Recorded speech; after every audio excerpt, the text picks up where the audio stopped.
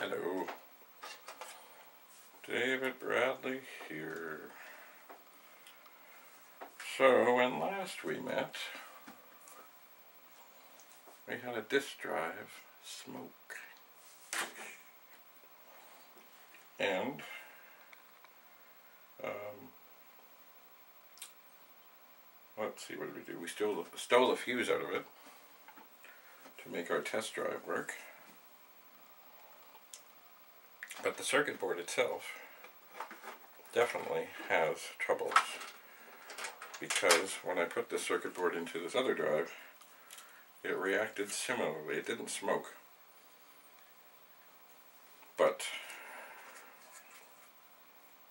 when I turned on the power, the power light came on and then the actual drive activity light just flickered ever so gently.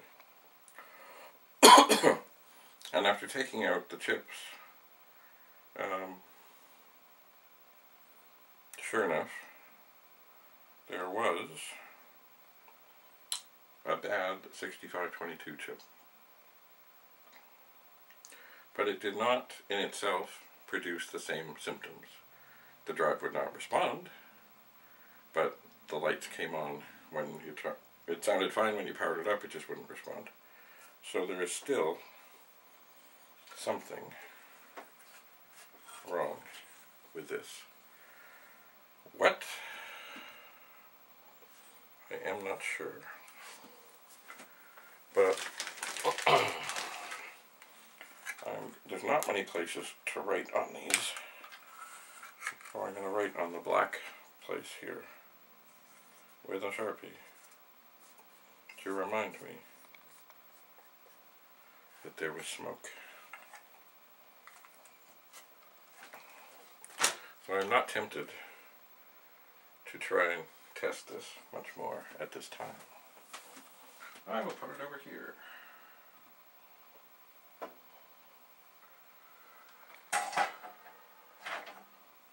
I shall. I was hopeful that we'd found a circuit board that we could use in this drive. But that is not the case. We were able to harvest some chips as well that we know now are working. As well, there were two chips out of that drive that were in sockets that are not normally in sockets. 325 572-01 and then this.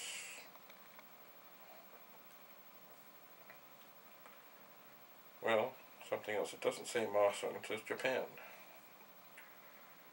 HM6116P-3. Anyway, these we were not able to test. I will set them by themselves. I will. So, here we have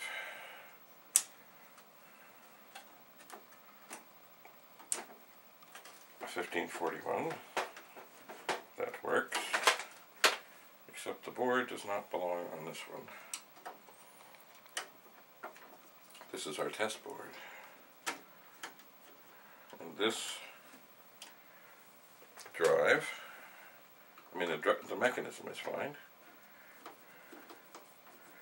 but it had a board on it that also was defective.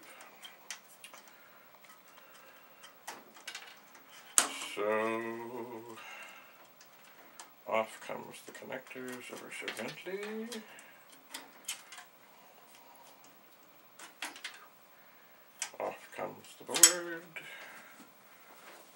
goes back to the drive for where it belongs.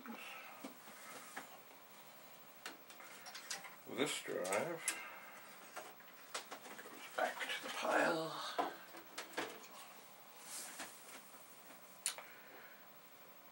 And here we are.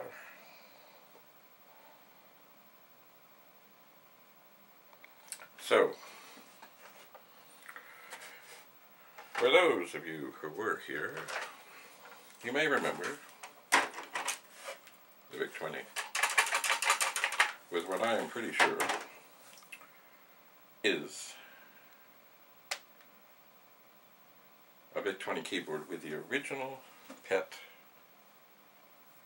mechanism for keys, which is rare. but I am not sure. Oh, okay. Little tiny screws. Um, well, let me see. Okay. The soldering iron is cooled. So this is the uh, RF shield made in Taiwan from the VIC-20. So I'm going to put all the tiny little screws from the screw from the keyboard.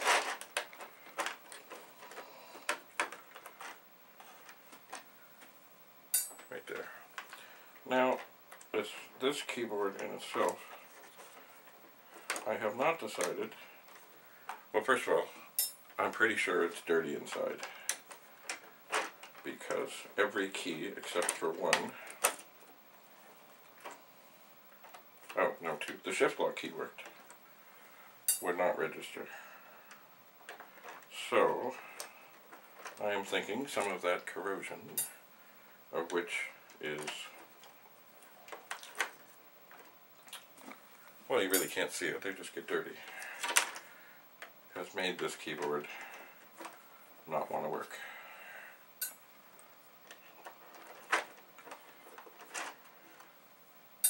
Now, do I know for sure that this is what I think it is, and that is a PET equivalent keyboard, or with the innards of a PET. No, I don't. But as I take more screws out, I should be able to maybe have a little peek what I should see. No, I cannot. Sorry. The shift lock is there.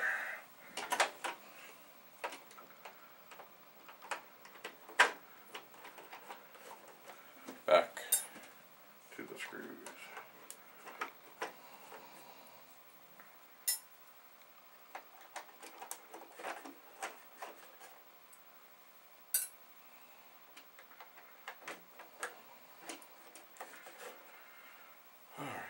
I think just three to go. There are an awful lot of tiny screws on these screw keyboards.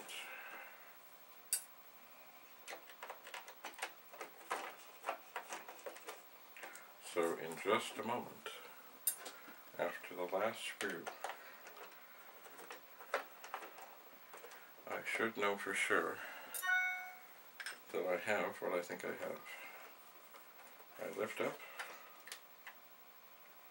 Oh yes, I can tell just from peeking here the mechanism is indeed the same as the PET. And as I mentioned before, there was a fellow who wrote to me and he has been searching the world for an F1 key for a machine just like this. but now I have to decide, do I want to take this apart and not put it back together?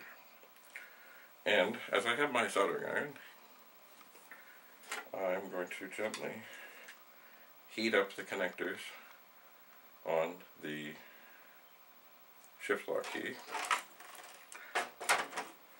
to get the wires off. There's a white, sorry, there's a black wire and a red wire. And they just need a touch, just a gentle touch, hello, gentle touch with the soldering iron. Gentle touch. There's one.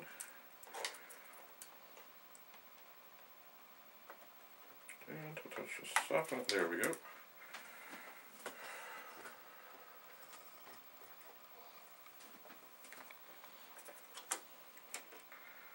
So now, this is probably a moment to share. So here we have the Big 20 keyboard.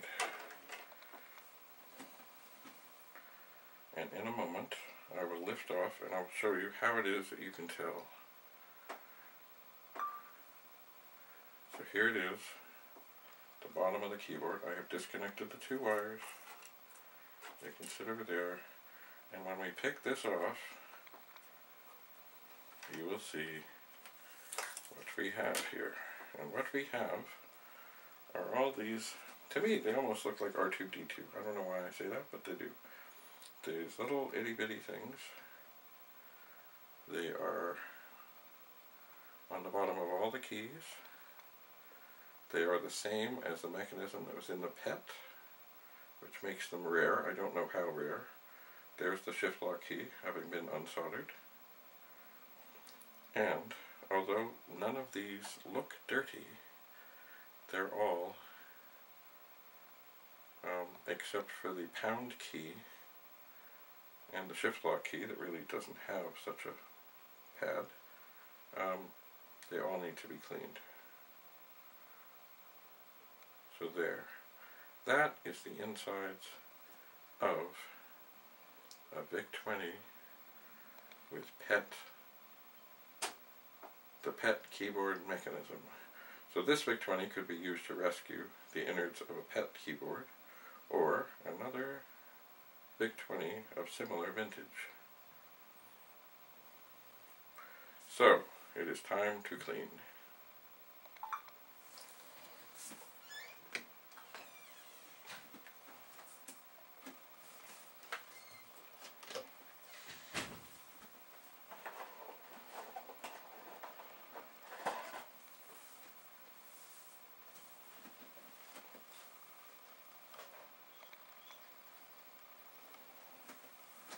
So, as always, we take our alcohol and touch each and every pad.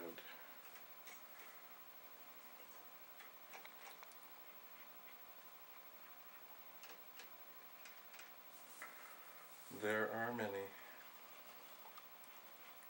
sixty some. And in fact I am seeing that the Q-tip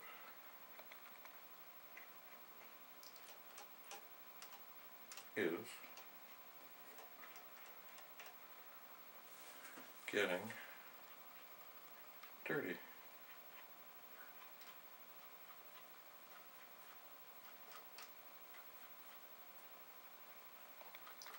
Which is not surprising.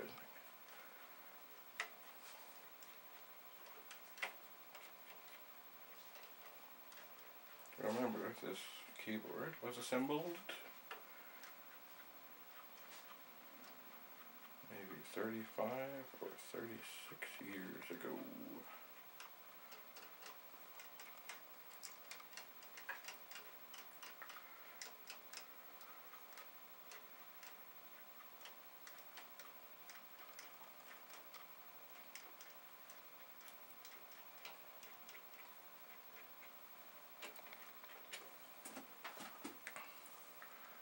So there. Now, we're gonna do? We're gonna do that again. And I think we will video it. Always put the lid back on the alcohol. Okay. So,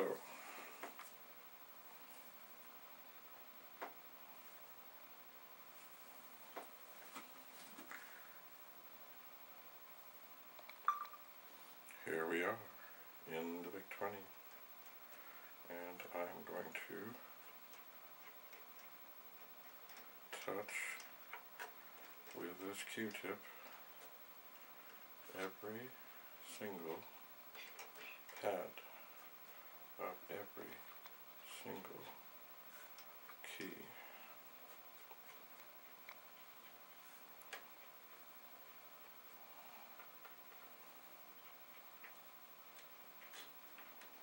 But that is not all that we must do.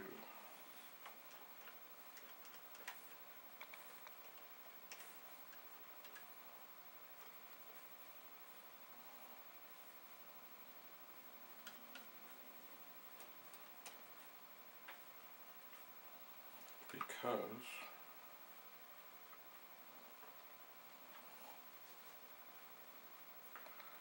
also above where we are right now we will see the circuit board.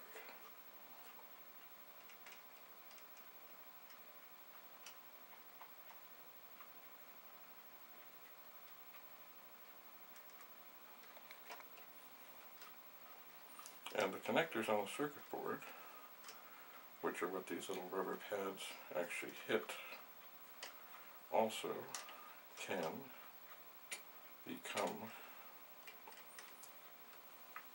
dirty.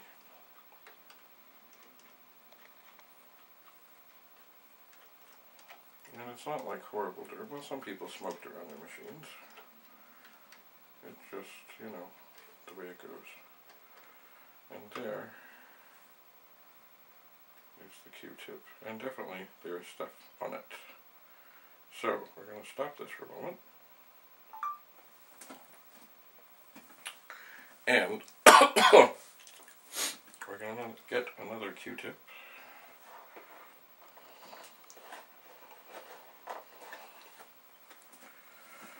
And more alcohol.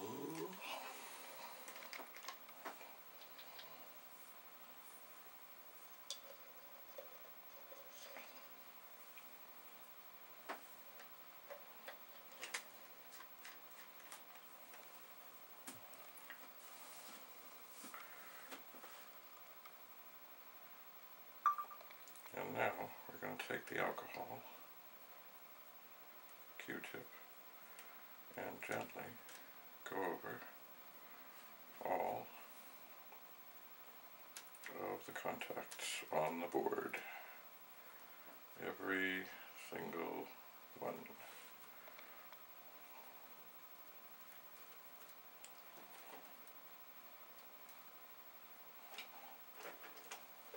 And it's funny how look, before I touch them, they look kind of dull. And after I run this over them, they seem a little shinier. I'm not sure if that shows up well. Anyway, so that's the procedure with Q-tip. Just basically put the alcohol in, or on it, rub over them. Do they look shinier? I'm not sure. Anyway, I'm going to continue with this.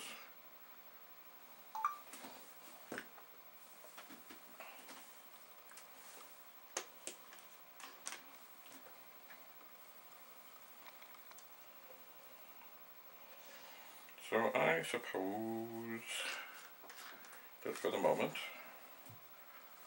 as I've not done anything to really make this impossible,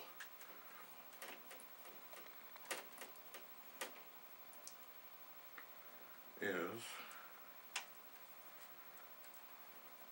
I think I will painstakingly put all the screws back in.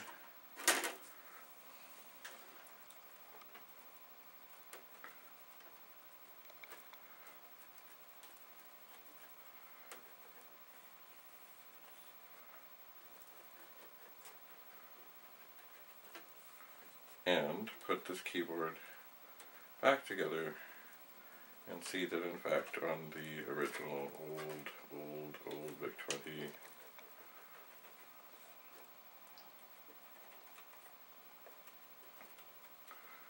that it does now work. I have done this many, many times with pet computers. Many, many, many times. Perhaps one of the reasons they switched away from this kind of connector is because they have a tendency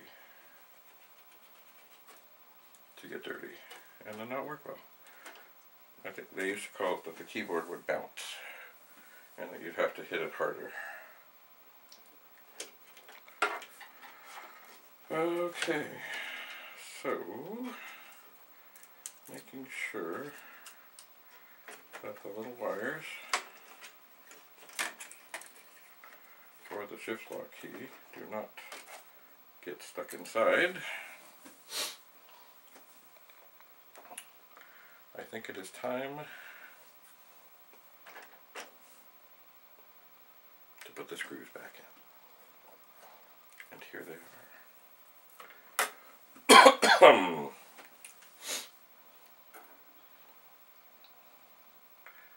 I don't think there's any order.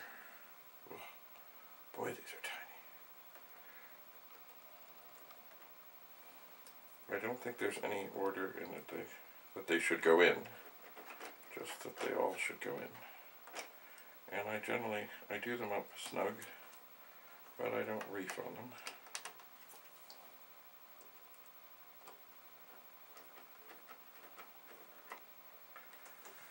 And there are so many. And it's funny, they don't all look the same. I did not notice that as I was taking them out. Maybe. Oh boy.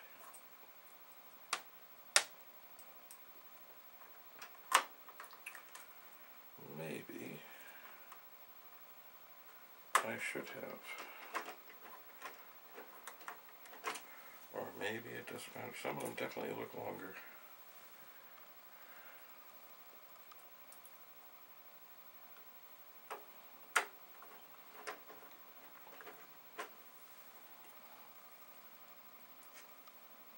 But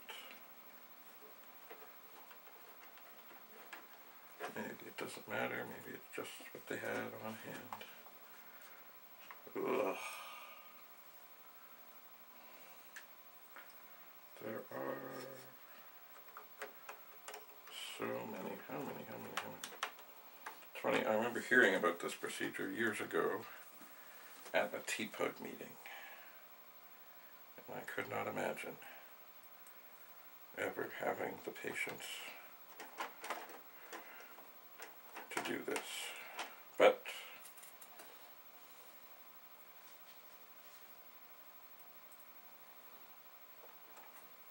when you have a machine that you want to work again,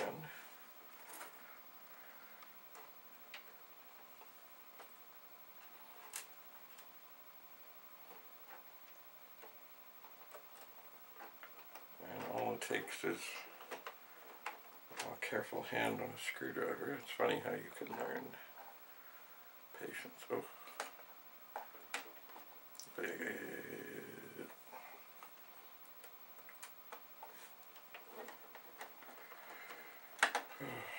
We are more than half done.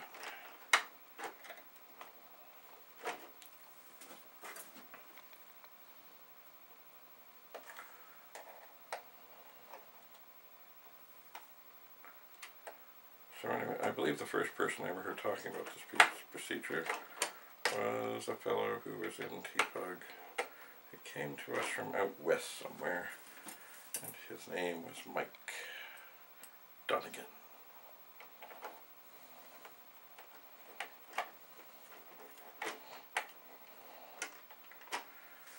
An interesting fellow he was, probably still is.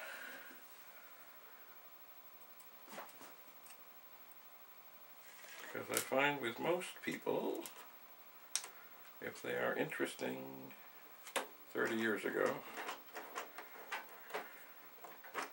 they only get more so.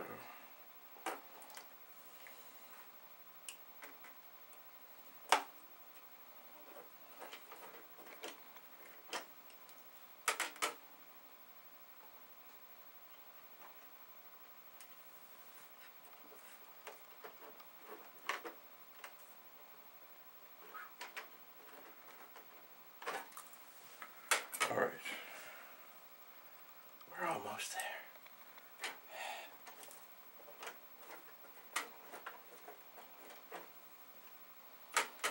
I think, I'm assuming I've not lost any, three to go.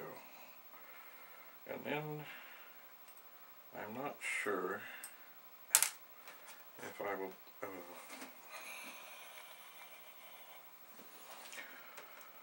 Ugh. The hands, they cramp. These are so tiny. I am not sure if I will resolder the shift lock key at this moment. I think I just want to assure myself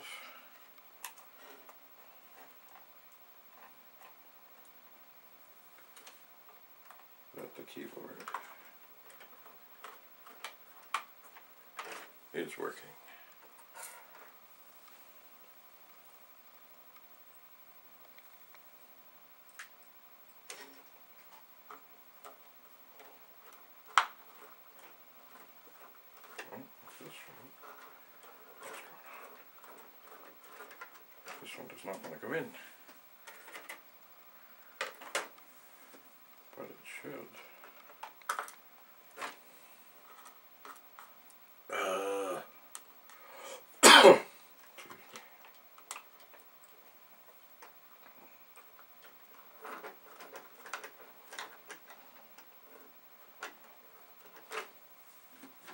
Okay.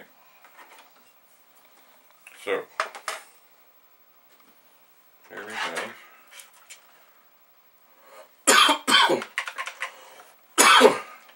an original pet style keyboard from a VIC-20.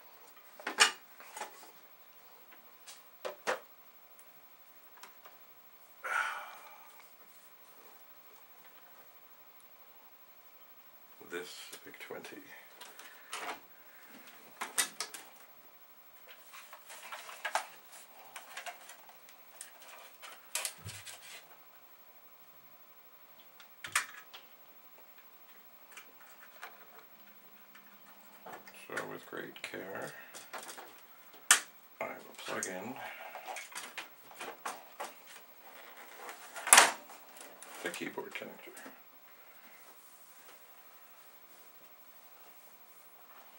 And then I will find the power connector, of which we still have issues.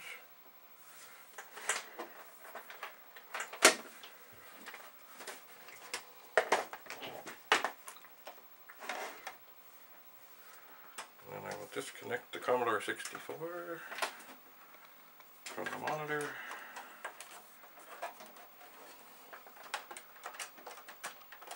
Plug in the monitor. And right here is a moment in time. So,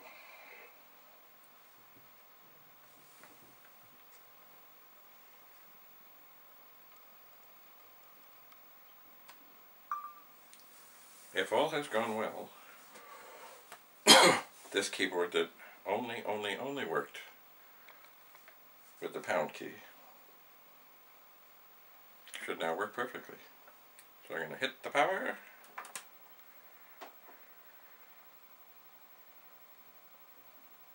And there it is. Commodore CBM Basic version 2. 3583 bytes free.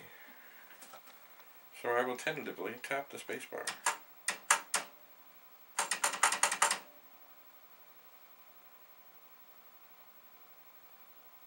Uh-oh.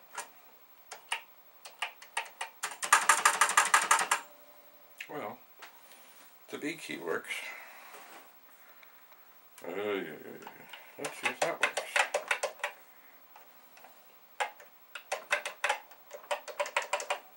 Hmm.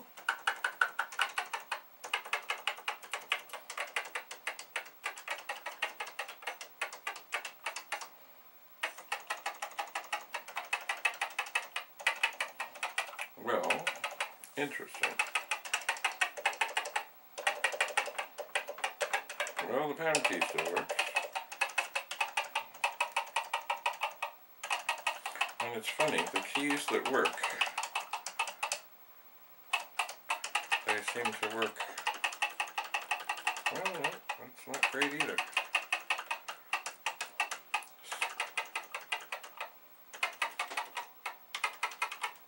Oh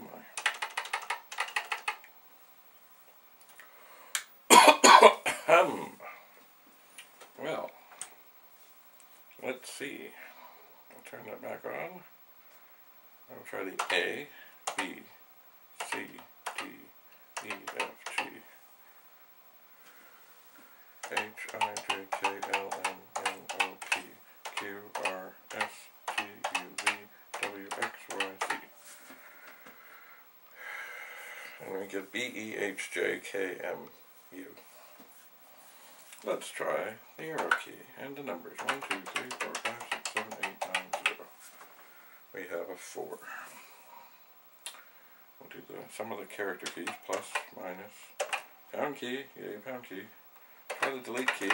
Oh, the delete key seems to work. Hard to tell the function keys, they don't do anything. Return is not, restore, who knows. The cursor keys, no. The space bar, no. Hmm.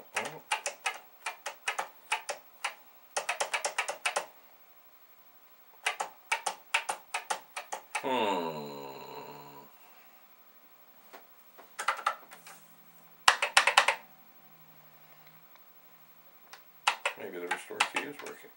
I hit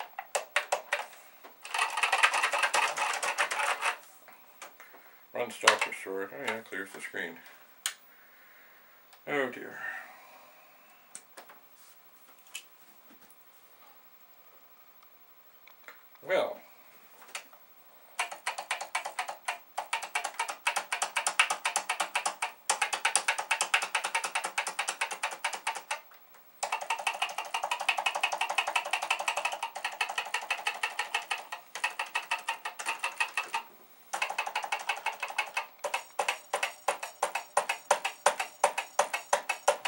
Well when I hit keys enough,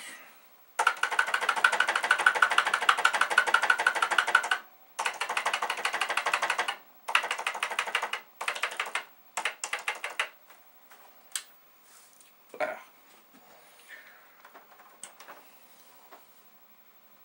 So,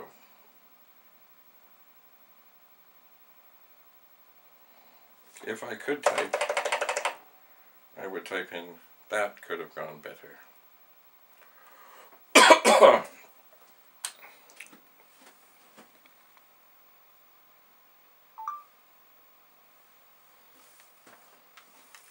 well, that is strange.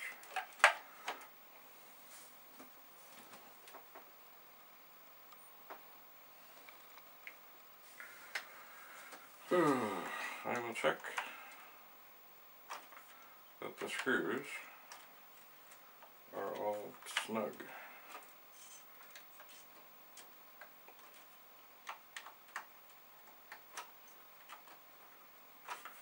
I, I do not want to overdo it.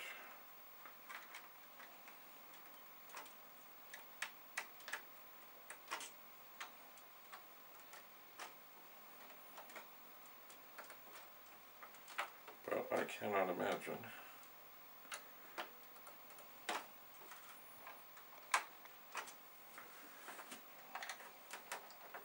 and the way things are failing, it doesn't seem to be anything to do. That one's kind of loose. With things not being secure.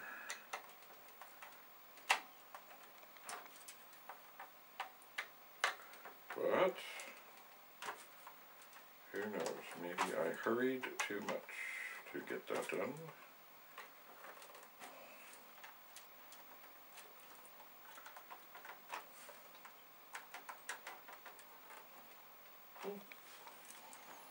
Maybe.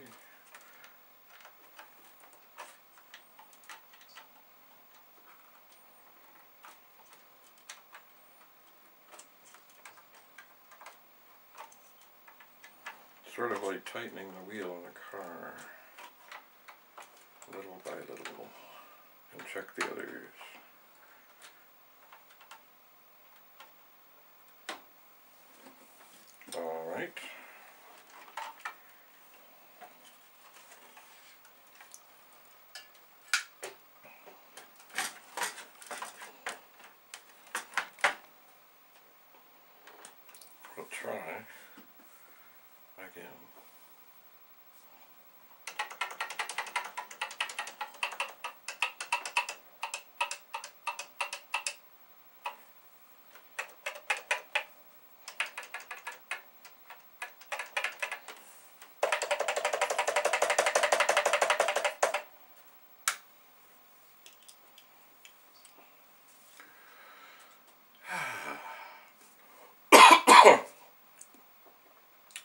Just say that could have gone better.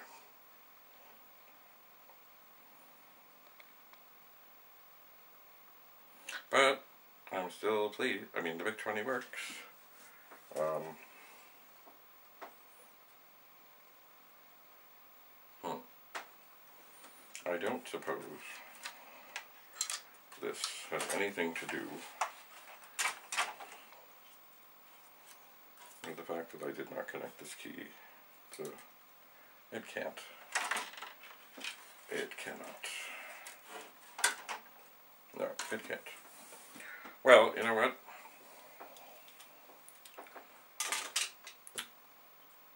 We will explore this at another time.